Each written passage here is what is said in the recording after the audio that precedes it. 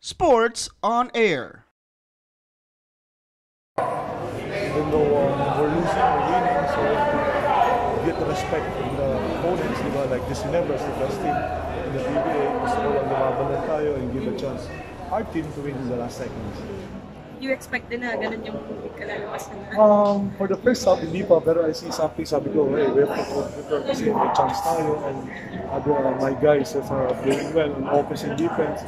Then we give them, uh, we almost won, di ba? Dahil dito sa, sa jumper na tinawag. So, so that's part of the game. So we don't get this win, but really proud of what, what happened in this game. Of course, How would you assess for the entire conference and the fight that the Colombian team has? Um, maybe we can get a good import like Leicester, but 6-5. So if we get that, it's siguro, we have chance to get in the quarterfinals na sa school. Wala po yung shortlist of... Wala pa eh, nagpipili pa rin kami. Pero we will- next week we will finalize para magpapa, mapauwi namin agad yung mga.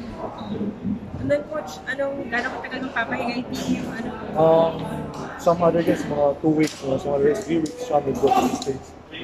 And um, yung mga big man ko kailangan mapa, mapa, mapa-practice pa, for some workout.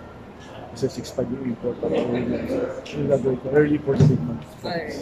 Coach, nabanggit pala ni CJ Perez na yung winning culture din try nyo i-establish. And so far, nakikita ba natin na unti-unti na itong naipapakita ng Colombian team? Um, I think, no, kasi siyempre for how many games, no, for uh, 11 games, siguro, mga 5 or 6 na muntik talaga kami manalo. Siyempre, hindi na natin maalis kasi this is a young team. This is a young team, so we will improve that with the next, the last conference. For watching. Click the subscribe button and ring the bell to be notified with our latest videos.